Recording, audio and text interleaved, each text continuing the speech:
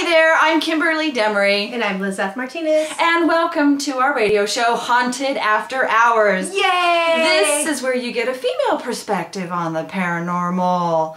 And Liz and I have decided we're going to do some cute little video hellos before Mm-hmm. every show. My God, look how big your boobs look in that. You should see them in 3D. Woo! Actually, it sounds exciting. Put your 3D glasses on, boys.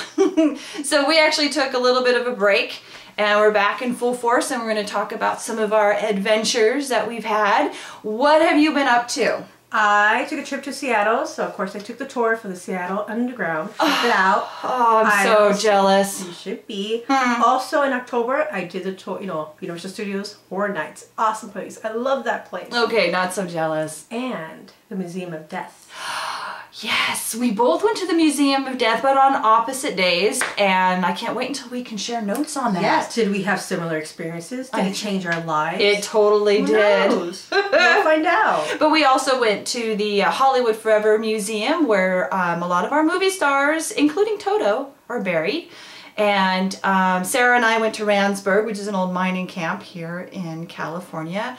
And if we get some time today, we're going to talk about Kesha. Keisha.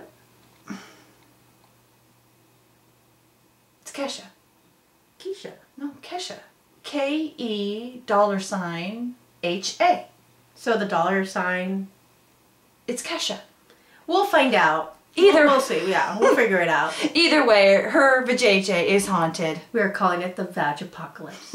so you don't want to miss out. All right, we'll see you soon. Bye. Bye.